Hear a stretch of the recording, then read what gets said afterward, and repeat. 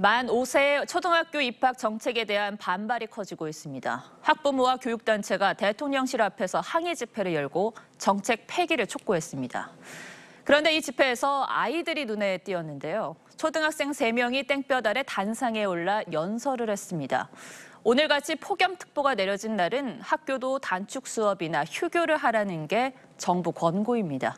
윤수영 기자가 현장을 다녀왔습니다. 오후 2시 용산 대통령실 앞 학부모와 교육단체 관계자 천여 명이 모여 만 5세 즉각 철회란 손팻말을 흔들며 노래합니다.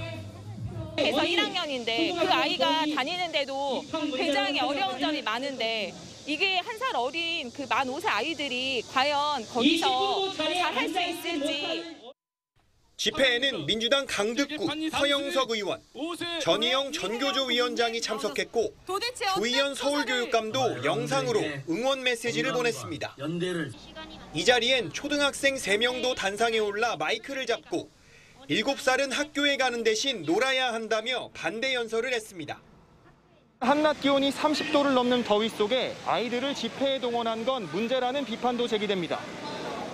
오늘은 서울을 비롯한 전국에 폭염특보가 내려진 날입니다.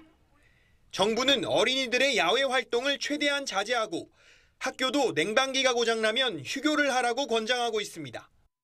성인보다 빠른 속도로 숨쉬기 때문에 할 수도 잘 되고 폭염에 더 취약합니다. 박순애 장관이 지난달 대통령 업무보고 때 밝힌 외고 폐지에 대해서도 반발이 커지고 있습니다. 전국 외고 학부모 연합회는 국회 앞 기자회견에서 외고 폐지 방침 철회와 박 장관 사퇴를 촉구했습니다. TV조선 윤수영입니다.